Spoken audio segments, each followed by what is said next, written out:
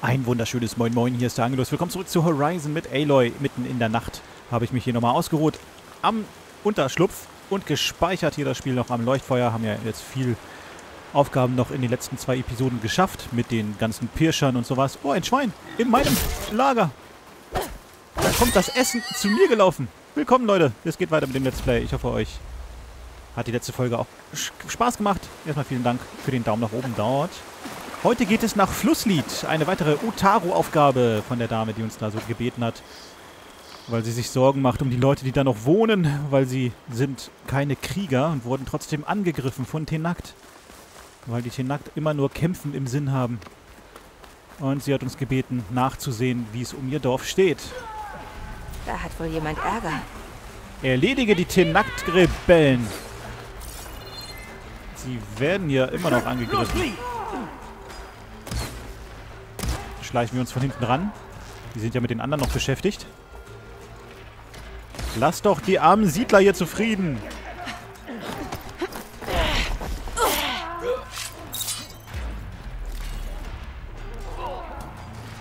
Lasst sie nicht unser Zuhause schänden! Euer Zuhause? Oder war das eben gerade ein Utaro, der das gesagt hat? Feinde, beschützt Flusslied! Ja, wir beschützen Flusslied. Schön, wenn die alle nur in eine Richtung gucken. Nicht umzingeln lassen! Wäre besser, wenn die mal stehen bleiben würden. Lasst sie nicht unser Zuhause schänden! Gibt mir auf jeden Fall viele Punkte. Der sieht wichtig aus.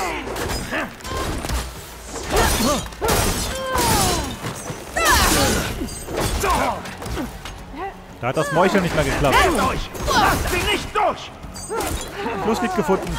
Keine Gnade! Ja, Schleich machen wir jetzt auch nicht mehr. Jetzt nehmen wir den. Für Flusslied!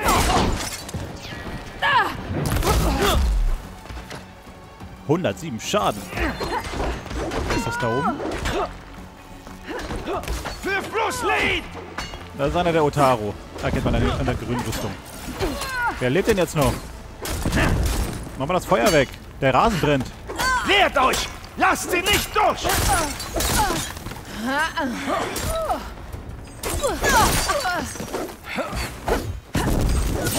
Wow, wow, wow. So, ich glaube, den ersten Angriff haben wir abgewehrt.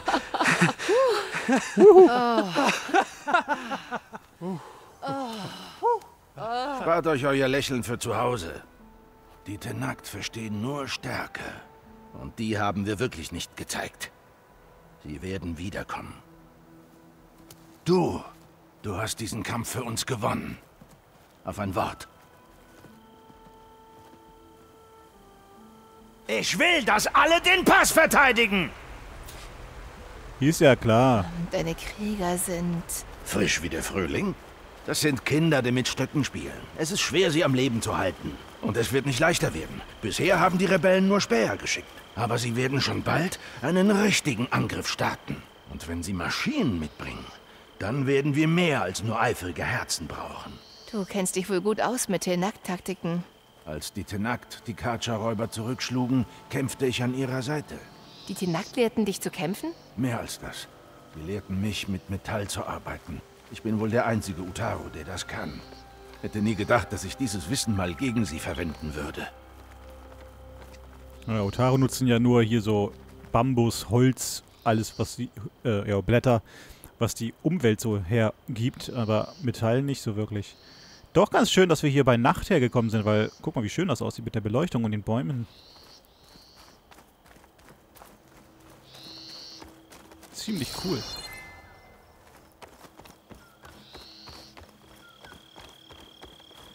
Aber die leben halt auch sehr, sehr weit weg von Rheinklang, ne?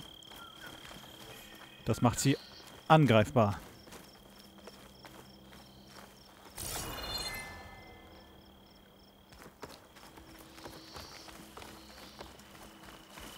Lagerfeuer habt ihr hier auch. Perfekt. Hier können wir frei reden.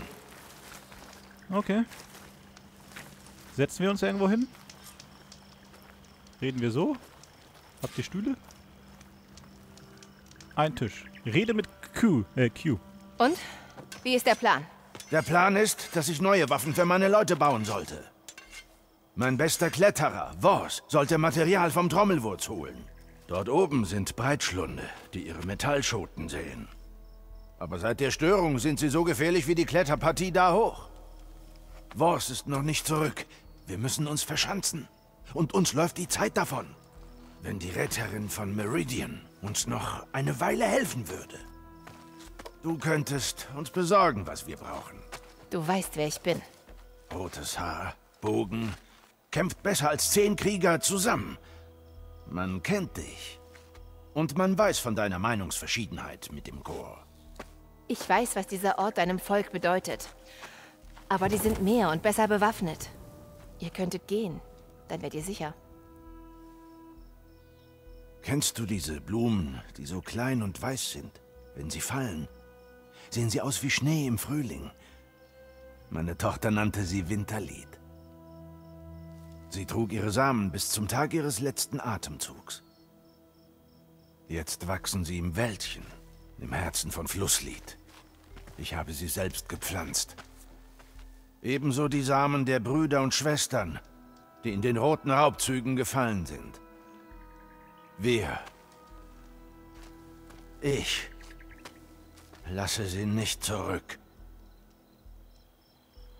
Okay. Breitmaulschlünde sind also auch oben auf dem Hügel. Da könnte ich noch so einen Fangzahn von gebrauchen. Kennst du so? Kennst du so? ich kannte die Kriegerin, die unsere Besten gegen die Kaja führte. Aber die So, die wieder zurückkam, denkt zu sehr nach über Dinge, die getan werden mussten. Ich halte nichts von Reue. Ich halte nichts von Reue. Okay, gute Einstellung. Und die Samen deiner Tochter, hast du sie also im Wald gepflanzt? Mein Beileid zu deiner Tochter. Die Raubzüge nahmen sie. Ich fand Frieden mit jedem Kaja, der von meinem Speer fiel. Alles, was ich jetzt noch von ihr habe, wächst hier im Wäldchen. Mich vertreibt kein Tenakt. Tragen alle Utaru Samen bei sich? Wir bekommen sie kurz nach unserer Geburt. Nach unserem Tod werden sie begraben. Denn unser Tod bringt neues Leben hervor. So bleiben wir in Einklang mit dem Rhythmus der Welt. Ja, das haben wir uns äh, auch schon von anderen, Tenak äh, von anderen Utaru anhören können mit den Samen. Trommelwurz ist also oben. Da wollte dein bester Kletterer hin. Warum ist der Pfad hoch zum Trommelwurz so gefährlich? Diese Höhle versunkener Gänge und Abgründe können nur die Besten durchqueren. Er dient meinem Volk als sichere Zuflucht. Aber seit der Störung streifen Maschinen in den tiefsten Gängen umher. Aber dennoch leben Flusslied und der Hain von seinem Wasser. Wir sind mit ihm so sehr verbunden wie mit den Samen, die hinter dir wachsen. Klingt nach einer alten Mine oder so mit Maschinen drin. Vielleicht ganz oben im Norden, das Fragezeichen, was ich gesehen habe. Okay, und du bist hier der Chef. Was genau ist deine Aufgabe hier? Ich bin der Metallweber von Flusslied. Aber du musst eigentlich nur wissen, dass ich mein Volk am Leben halten will. Dank dir könnten wir eine Chance haben. Okay, Metallschmied also. Metallweber. Den Wort, das Wort Schmied kennen wohl, glaube ich, nur hier die, die Ossaram. Metallschoten wurden, äh, sollten also von Trommelwurz geholt werden. Erzähl mir mehr von den Metallschoten. Sie sind schwer einzusammeln.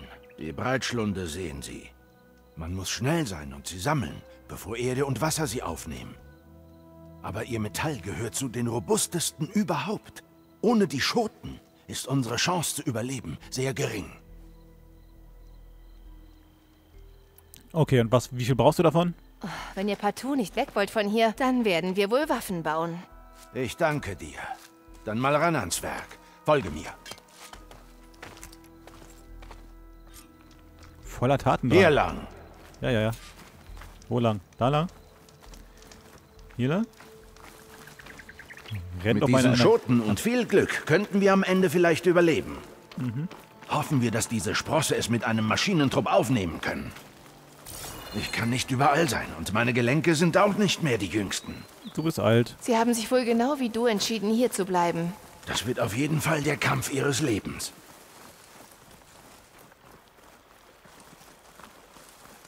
Ich gucke mal auf die Karte. Das müsste bestimmt hier oben sein, hier. Da gehen wir jetzt auch hin, ne? Ja. Hier war der Teil, wo ich gespeichert habe. Altholz war dann hier. Okay. Karte wird immer Fast geschafft. weiter aufgedeckt. So können wir diejenigen verstecken, die nicht kämpfen können. Wenn wir fallen, werden die Tenakt sie früher oder später finden. Wir sind da. Jetzt sind wir schon da. Lass mich mal vorgehen. Ach nee, Ich krieg das hin. Ich besorg die Schoten für deine Leute. Keine Sorge. Komm zur Schmiede, wenn du fertig bist. Hier ist es. Hast du vielleicht noch Fragen? Hab ich? Nein, habe ich nicht. Ich bin bereit. Viel Glück. Komm zur Schmiede, wenn du fertig bist. Alles klar. Ich mache mich auf den Weg. Oh, da sind ja noch welche. Und Verletzte hier oder pennt ihr gerade? Oder beides? Fremde, halte Ausschau nach giftigen Pflanzen. Ich sollte mir dann mal meinen Weg nach oben suchen. Mhm. Wie wär's denn hier?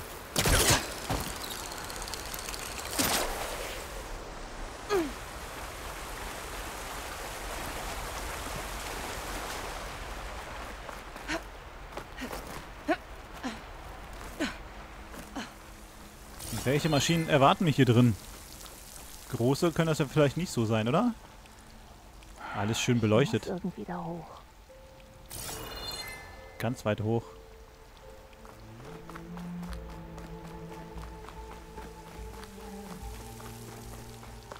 Da stehen doch Kisten auf den Vorsprüngen. Da kannst du dich nicht festhalten? Toll, Aloy.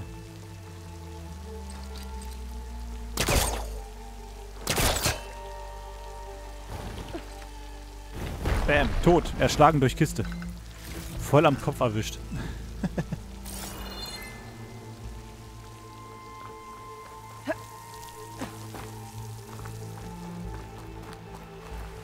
Okay, ich soll hoch, nicht darunter. Kann ja gar, bei gar keiner Wand klettern, ey.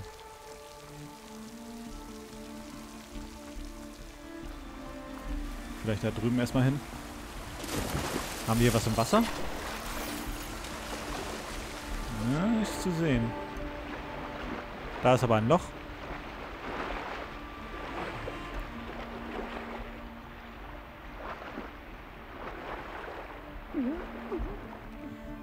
Halt noch durch, Aloy. Ich brauch, oh, die, die Luft geht so schnell aus. Lange tauchen kann sie echt nicht. Wasser ist nicht so ihr Element.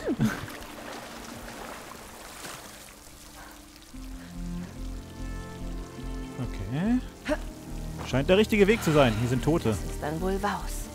Diese Wunden stammen von Maschinen. Ich sollte die Samentasche zu Q bringen. Sie bedeutet den Otaro wohl viel. Ja, die sind immer sehr froh, wenn man Samentaschen... Die haben wohl auch Waus getötet. Wenn man Samentaschen zurückbringt, sind die sehr, sehr, sehr dankbar. Das sind giftige Pflanzen hier, ne? Das, davon hat der andere von, geredet. Blumen am Auge.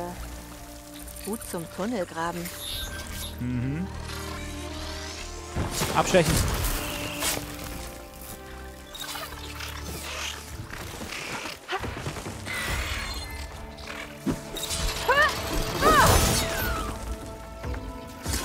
Gut, so viel dazu.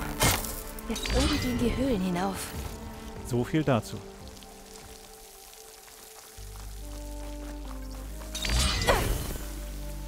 Okay. Mitnehmen kann man die nicht. Die Pilze. Durch Schießen auf Pilze in der Nähe wird äh, ja, das äh, äh, äh, ähm, freigesetzt. Okay. Kiste? Kommt mir so vor, als würden hier in dem zweiten Teil viel, viel mehr Kisten rumstehen als im ersten. Okay, wir können da hoch.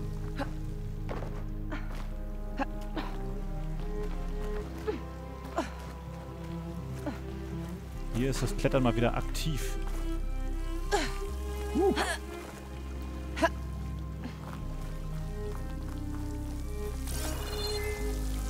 Da drüben lang.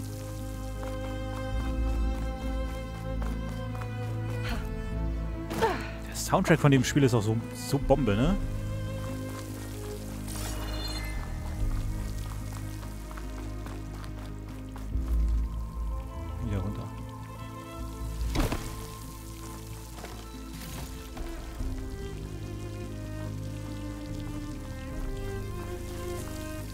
Viele, viele verzweigte Tunnel hat er ja, an, hat er ja gesagt, dass die hier so viele Tunnel haben. Hier ist sogar eine Metallblüte drin. Grünglanz. Ich Glückspilz. Mega Glückspilz. Aber die Metallblume, die kriegen wir nicht auf. Ist das nicht der erste Raum? Ja, da bin ich durchgetaucht.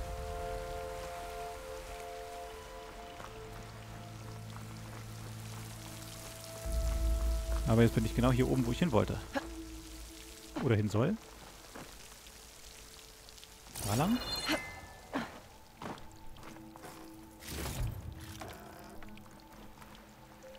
Ah. Ich muss ja noch weiter hoch eigentlich, ne?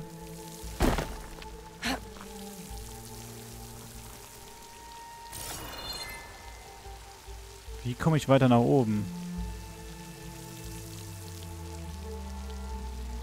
Da sehe ich was. Toll. Da ist ein Brett. Das führt wahrscheinlich von dahin, aber wie komme ich von hier aus da rüber springen? Das wird nix. Ich könnte auf den Vorsprung, aber ich komme nicht da, dann da hoch, ne? Das Seil ist zu kurz. Vielleicht vor... Ah, hier, ist eine, hier kann ich eine Leiter schon mal runterlassen, falls ich runterfalle.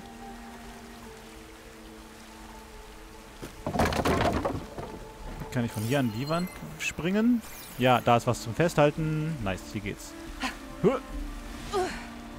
Hab mich aber nicht festgehalten.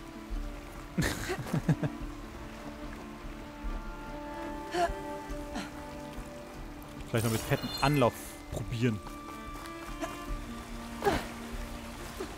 Geht doch. Und dann muss ich hier oben, ganz oben rauf und dann zum Brett springen, ne? Da geht's ja nicht rüber.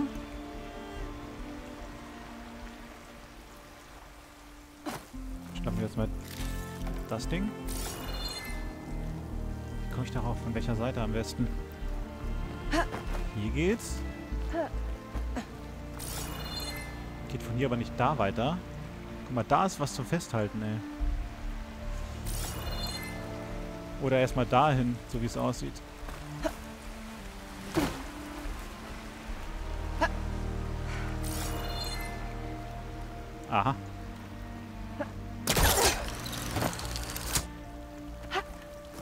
Nice. Gut. Dann ist das Brett vielleicht, um wieder nach da zu springen? Oh ja. Ganz andere Richtung, als man denkt.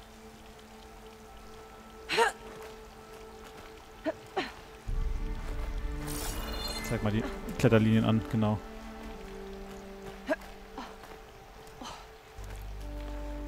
Schön abwechslungsreich, diese, diese Geschichten so. Nicht immer nur Maschinen töten oder, oder sowas, sondern jetzt hier auch mal so eine Kletteraktion.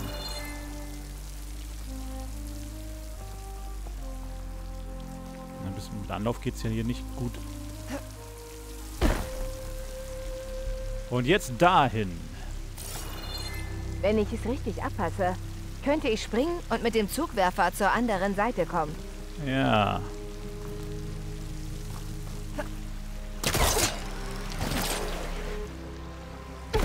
Runterfallen wäre hier auch eine blöde Aktion gewesen, weil dann müsste ich erst wieder die- Strickleiter wieder hoch und wir dann wieder ganz da drüben und sowas, ne? Nee. Wollen wir uns gar nicht ausdenken, sowas. Oh, lila.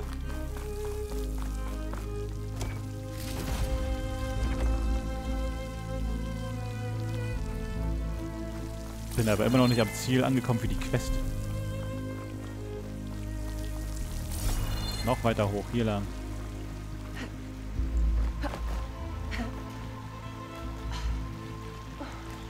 Was er gesagt hat, jetzt sind die Tunnel voller Maschinen, waren aber nur zwei Wühler da. Also,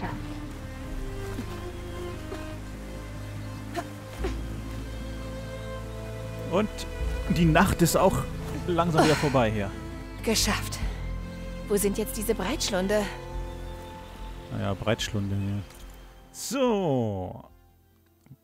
Da war der Eingang, Trommelwurz. Und hier bin ich hier oben rausgekommen. Aber wir dürfen ja nicht vergessen, drin im Trommelwurz war noch ähm, eine Metallblume, für den, die einen Weg, den einen Weg versperrt hat.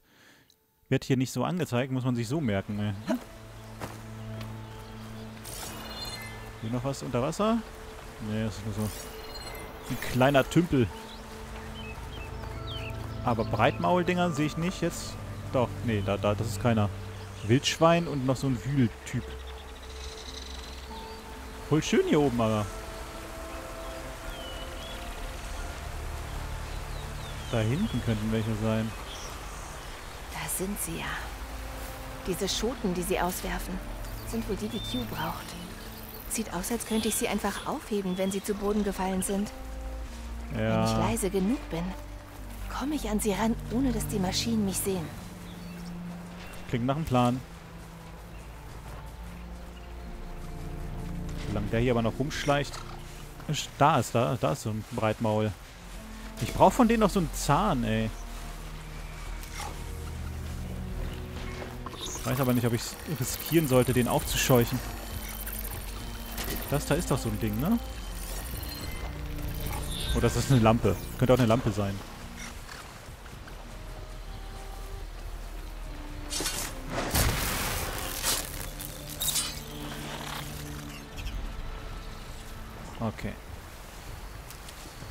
Scheißen die da hinten auf jeden Fall so aus.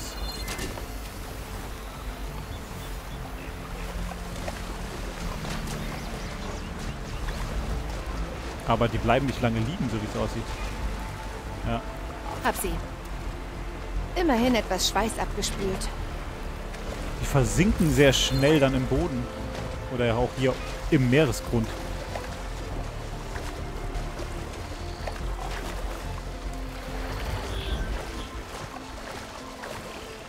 Komm schon.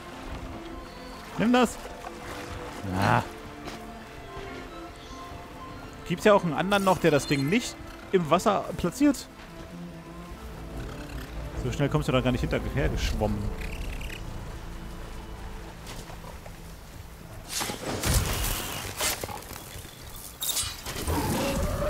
Oh, oh. Nicht so gut. Nicht näher. Wenn ich gegen den kämpfe, macht er keine, keine neuen Kanister mehr. Das ist halt das Blöde.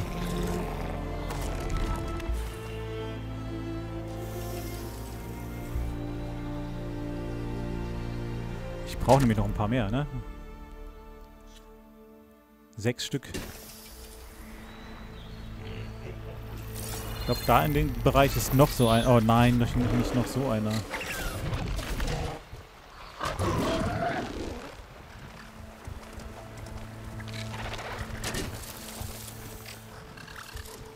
Schmeiß da oben, ja, genau da, wo du bist. Da kannst du mal welche hin, hinpflanzen.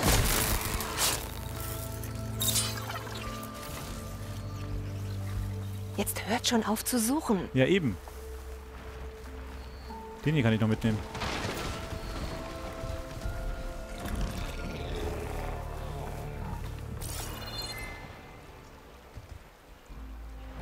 Arbeite weiter.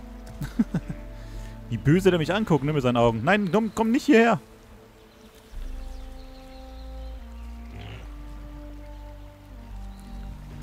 Den Busch brauchst du nicht zu sehen. Und er ist wieder blau.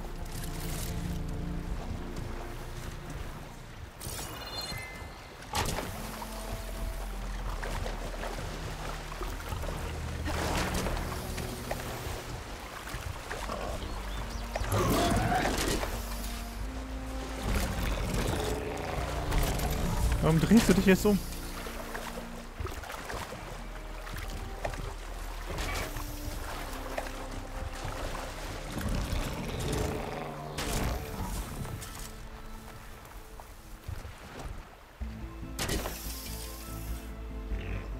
Oh, schön. Ah, Mann, die, müssen, die fallen auch immer im Wasser. Ich dachte, das bleibt jetzt da oben liegen. Da hinten ist noch einer. Ja. Die sieht gut aus. Die sieht gut aus.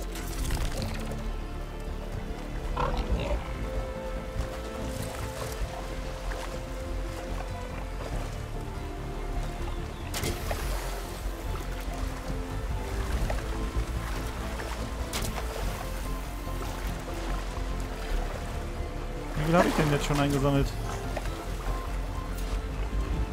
Vier. Fünf. Eine noch. Die Maschine. Uh, das wären alle Schoten. Dann alle. verschwinde ich mal. Ja. Kehre zu Q zurück. Mhm. Wenn ich von denen noch einen Fangzahn kriege, äh, könnte ich meinen Bogen updaten ey, an der Werkbank. Aber die... Die Zähne von denen zu kriegen, ist halt echt nicht so leicht.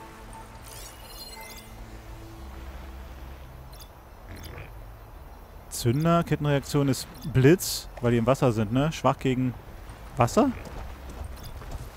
Löschwasserkanister, Saugeinheit, Zünder, Rohstoffbehälter, Stoßzähne. So einen brauche ich. Ich brauche halt so einen Stoßzahn. Die ist halt nur, wenn die das Maul aufmachen. Na also. Na also?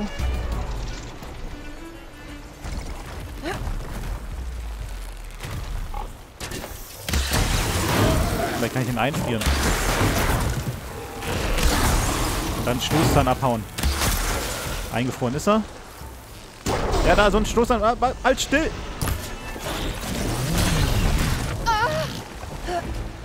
Oh. Nicht, nicht im Boden versinken. Mach das Maul auf!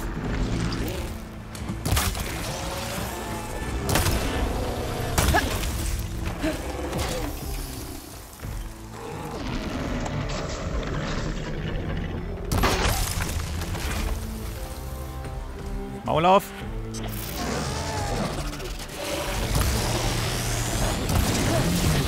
Da habe ich keinen Schuss dran gesehen gerade. Auf die Fressluke!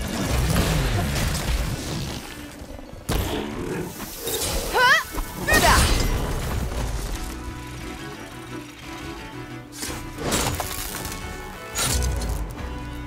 Ich glaube, ich habe keinen Fress Fresslukenzahn gekriegt. Vielleicht liegt ja noch irgendwo einer rum. Vielleicht mit Glück. Ah, guck mal, jetzt, jetzt kann man ja auch doch so viele... Nee, die, ah, die versinken immer im Boden. Selbst wenn die danach hier liegen, die ganzen Kanister.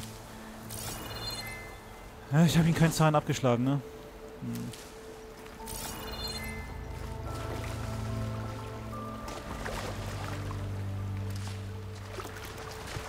Trotz des Eises hat es nicht so geklappt. Die sind auch nicht bei jedem Angriff offen. Ab und zu, wenn das Maul ganz aufgeht, dann fahren die so nach vorne aus. Aber wenn er so Saugangriffe macht oder, oder sowas, dann sind die eher so eingeklappt, die Zähne. Und deswegen kriegst du sie auch nicht so schnell. Naja, ich äh, mache mich auf den Weg zurück zu Q. Ich bin ja hier, vielleicht kann ich ihn hier abkürzen, indem ich hier irgendwo runterspringe oder sowas. Damit ich schneller wieder zurück zum Dorf komme. Hat auf jeden Fall Spaß gemacht, die Höhle zu erkunden. Ich hoffe, euch hat es auch ein bisschen Spaß gemacht und bisher sah der Ort hier, Flusslied, ja auch echt schön aus. Für den Gerade nächsten auch- Kampf. Gerade auch mit der ganzen Beleuchtung bei Nacht hat mir das echt gefallen. Also lasst gerne einen Daumen nach oben da für die heutige Episode, wenn es euch gefallen hat.